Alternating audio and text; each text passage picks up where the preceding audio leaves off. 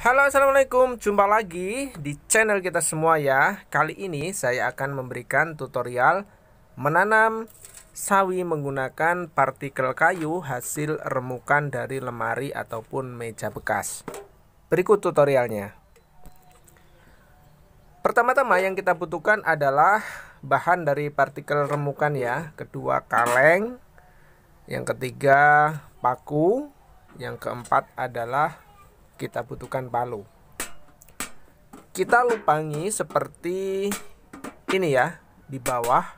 Ini dengan maksud tujuan ketika media nanti disiram air tidak akan menggenang.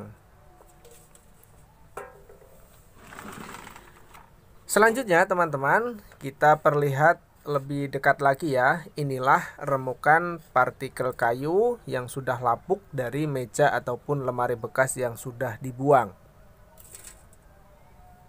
Ternyata setelah saya buktikan ini bisa untuk media tanam ya teman-teman. Lalu kita isi kaleng yang sudah kita lubangi tersebut dengan media dari partikel kayu tersebut. Isi sampai penuh.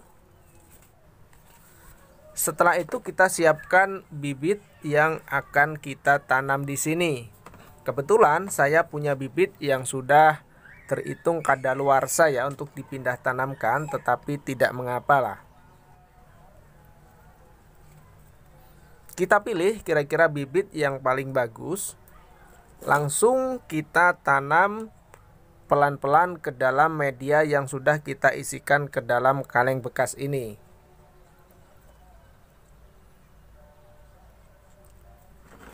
Jangan terlalu banyak kita menanam dalam satu kaleng, sebetulnya satu tanaman pun sudah cukup.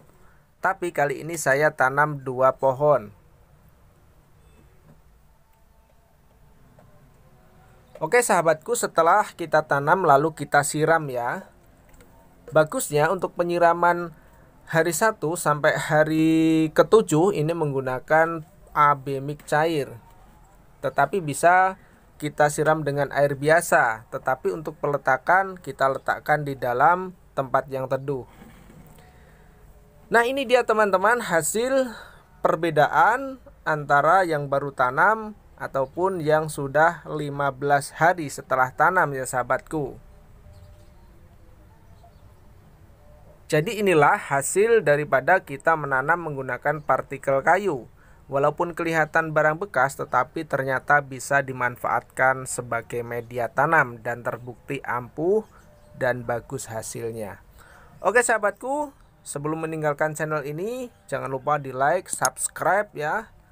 Terima kasih sudah di subscribe, semoga channel ini lebih bermanfaat buat yang lainnya.